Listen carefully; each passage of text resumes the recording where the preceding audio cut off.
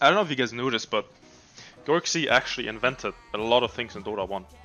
Like buying items, uh, buying Blink,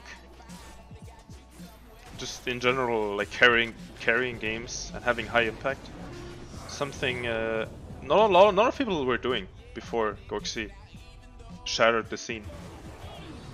So generally, I have a lot to thank Gorgc for.